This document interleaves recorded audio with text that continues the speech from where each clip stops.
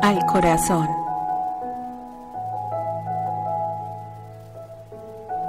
Por Rosy Castañeda.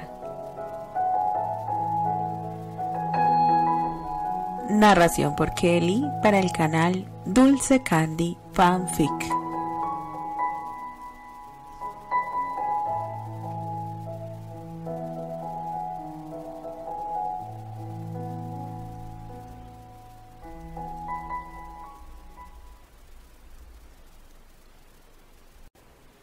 Capítulo 6 Desde que su sobrino Albert se lo propuso, Emilia Elroy no dudó en apoyar el plan que su sobrino mayor y el duque de Granchester orquestaron. Candice necesitaba un esposo y Terence una esposa. Si las cosas salían como lo habían planeado, esos dos terminarían comprometidos y casados posteriormente. Pero, conociendo la testarudez de su sobrina, Emilia Elroy, en complicidad con sus amigas Paulina Giddins, Pony, tía de Annie, y Martha O'Brien, abuela de Patty, armaron toda una estrategia de casamenteras al darse cuenta que Terrence no le era indiferente a Candy y viceversa. Terrence casi había devorado a Candice con la mirada cuando la vio por primera vez, y Candice se había puesto verde de coraje cuando Terence bailaba con la señorita Marlowe. Mientras Terence intentaba liberarse de la compañía, si es que se le podía llamar así, de la joven Marlowe, Paulina y ella observaron a la distancia cuando Candice iba camino al balcón, y sonrieron al ver que segundos más tarde Terence dirigía su mirada en aquella misma dirección. Cuando finalmente el muchacho se liberó de la molesta señorita Marlowe, Marta entró en acción y tras confirmar que estaban en lo correcto, les hizo una señal para llevar a cabo su plan maestro, el cual no fallaría. Dicho plan consistía en que Pony enviaría a las dos chismosas reporteras al jardín para que encontraran a Candice y a Terence en una situación comprometedora. Pero las cosas no salieron como lo planearon, y ella había perdido toda esperanza. La ida al teatro en parejas fue todo idea de Pony. En realidad sería ella quien iría con los chicos al estreno, pero al fallarles la primera estrategia de casamenteras y luego que la misma Pony se diera cuenta las miradas de enfado de Candy mientras Terrence bailaba con la señorita Marlowe, se le ocurrió jugar con los celos de Candy y afortunadamente su sobrina mordió el anzuelo. Marta les había dicho que su nieta Patricia le contó que Candy se tornaba de roja de rabia cuando la joven Marlowe luchaba por ponerle las manos encima al joven Granchester. Te lo dije. Pony sonrió. Se gustan, solo es cuestión de tiempo. Suspiró. Ay, pero es que los dos son tan cabezotas que ninguno quiere aceptar lo que siente por el otro. ¿Qué sigue ahora? Habla con tu sobrino, a ver qué se le ocurre, para que ambos pasen más tiempo juntos. Después de todo, este también es su plan y el de los padres del muchacho. Tienes razón, hablaré con William mañana. No, de ninguna manera. Debes hablar con él ahora mismo, exigió Pony. Pero ya es tarde y seguro está descansando. Pues despiértalo. No podemos esperar hasta mañana. Esto es una emergencia nacional y requiere que planeemos todo hoy mismo.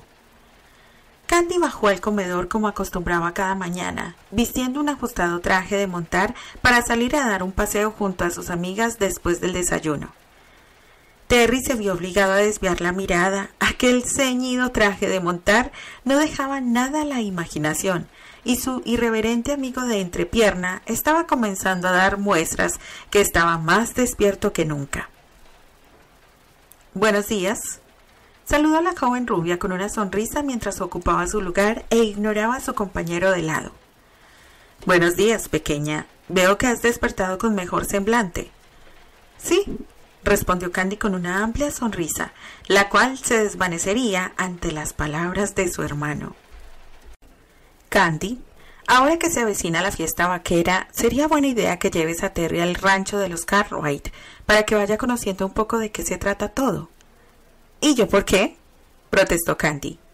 El señor Granchester es el invitado de Anthony, por lo tanto debe atenderlo él mismo.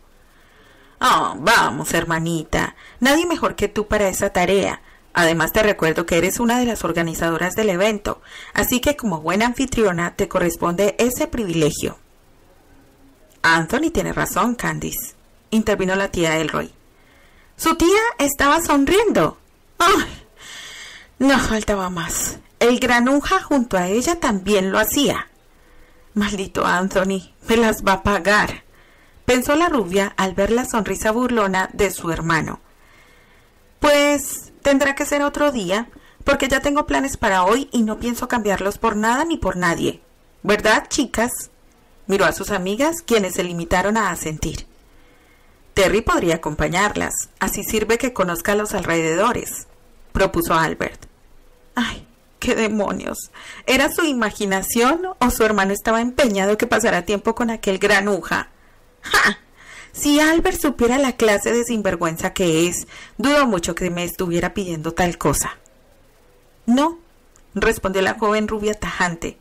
Por nada del mundo permitiría que le echaran a perder sus planes de ir al río junto a sus amigas y nadar un rato aprovechando que esa hora, en esa hora, el lugar estaba libre de miradas indiscretas.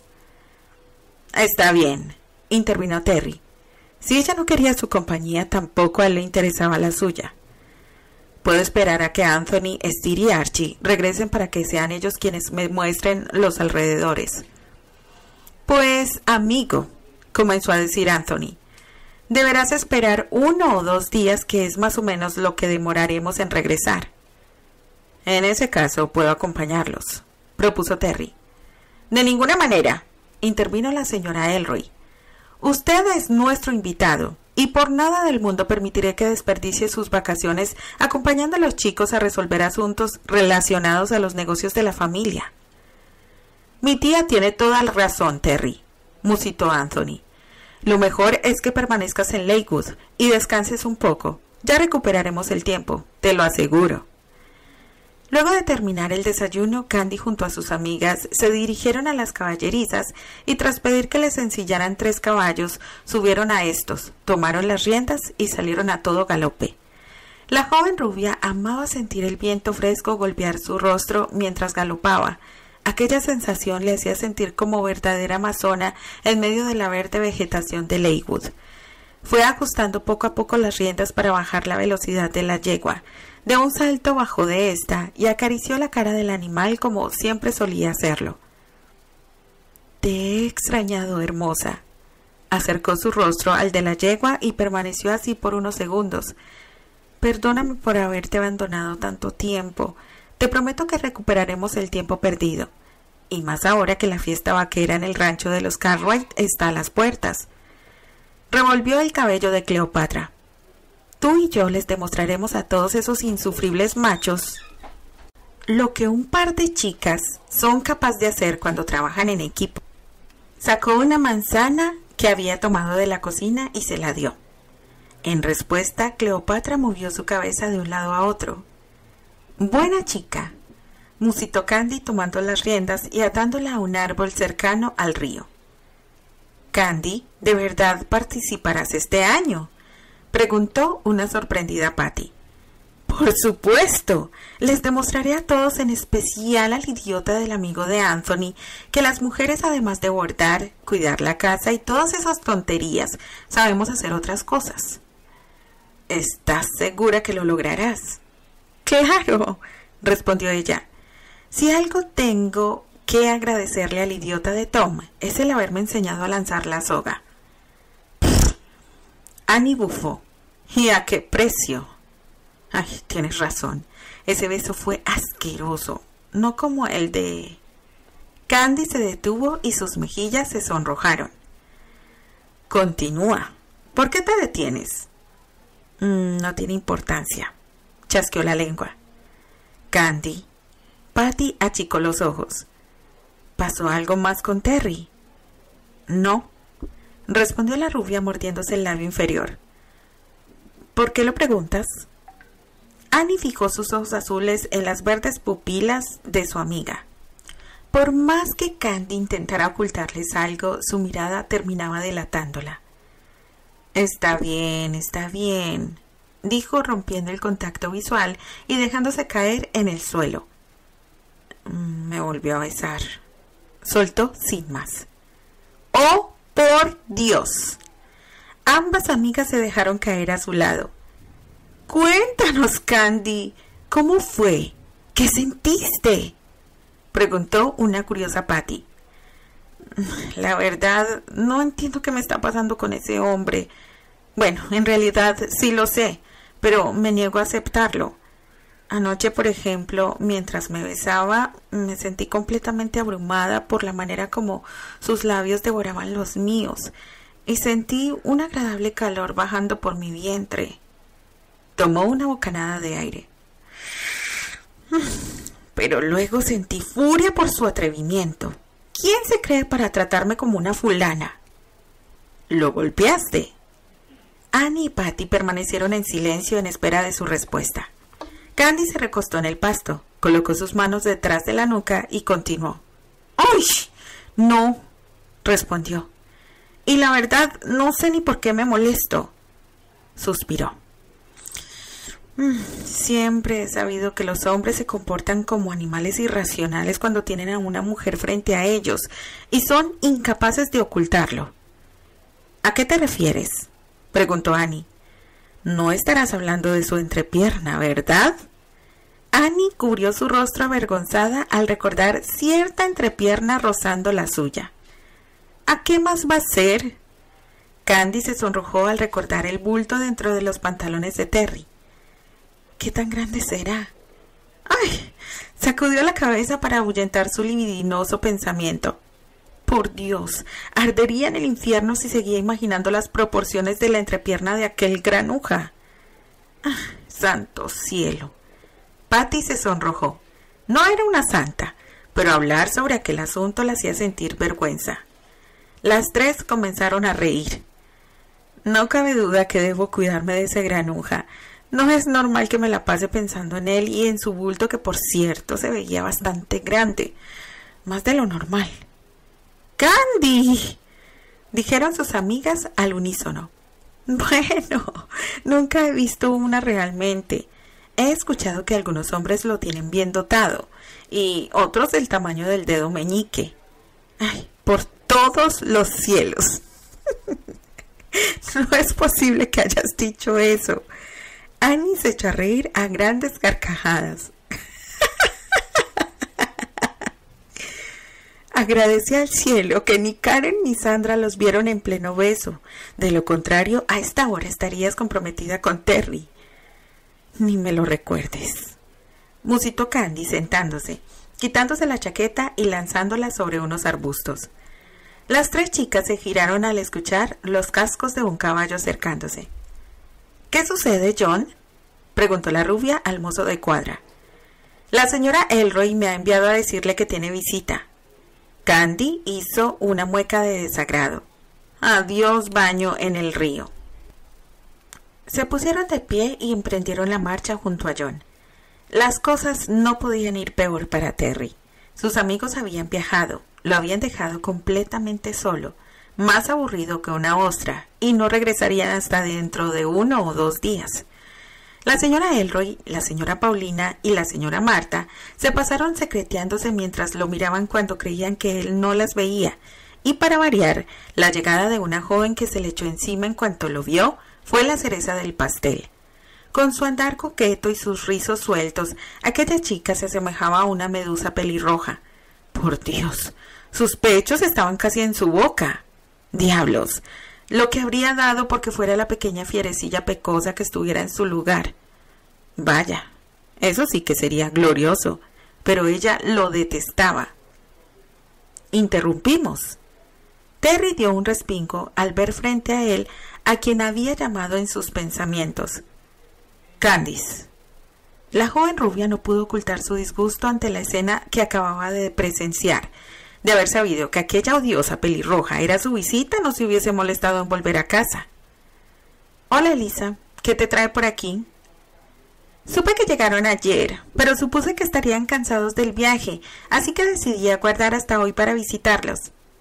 ¡Wow! ¡Cuánta consideración de tu parte! No debiste molestarte, querida. No es ninguna molestia, respondió Elisa. Pero de haber sabido que me encontraría con este bello ejemplar, hubiera venido antes. ¿Ejemplar? ¿Lo había llamado ejemplar? ¡Ay, demonios! Lo que me faltaba. Ser tratado como un semental, pensó Terry. Mm, ya veo, musitó Candy con enfado. Y al parecer te la has arreglado para presentarte. Muy a tu estilo, ¿verdad? Elisa comenzó a reír de tal manera que Candy sintió que le explotarían los tímpanos de sus oídos, oídos, y no precisamente por el sonido tan espantoso que hacía cuando reía de aquella manera, tan desagradable, que era como escuchar un cerdo gruñir, sino por la furia que calentó sus orejas al ver cómo se pegaba a Terry. ¿Participarás en la fiesta vaquera? Elisa abanicó sus pestañas. Por supuesto que lo hará, respondió Candy. Terry pestañó varias veces. Hasta donde recordaba no había decidido participar en dicha fiesta. Incluso ella se había negado a llevarlo al rancho de los Cartwright. En ese caso puede ser mi pareja durante toda la fiesta. Elisa se pegó más a él. Me temo que eso no será posible, replicó Candy. ¿Por qué no? ¿Acaso será tu compañero? No, respondió la rubia enfáticamente. ¿Y entonces por qué no puede ser mi pareja? Porque él deberá ganarse ese derecho. Elisa frunció el ceño. Hasta donde tengo entendido, cada dama soltera tiene el derecho de escoger su pareja. Pero las cosas han cambiado. No estaba enterada de esos cambios y honestamente no entiendo cómo es que tú lo sabes. Candy rodó los ojos. Has olvidado que soy una de las organizadoras del evento. Enarcó una ceja. Yo puedo hacer los cambios cuando se me plazca y acabo de decidir que los caballeros en busca de pareja deberán ganársela. ¿Mm? Interesante. Terry rió para sus adentros. ¿Y qué se supone que debo hacer para ganar ese derecho? intervino el castaño.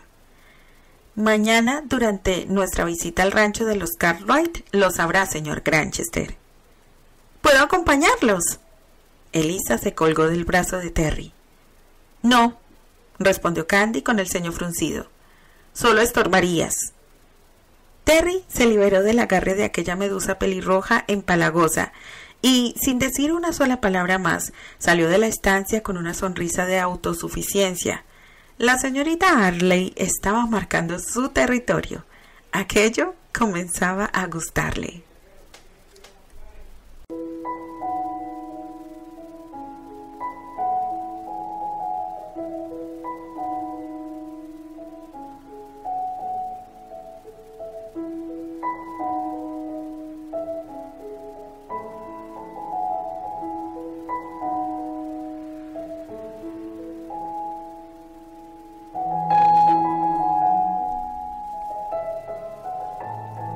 Continuará.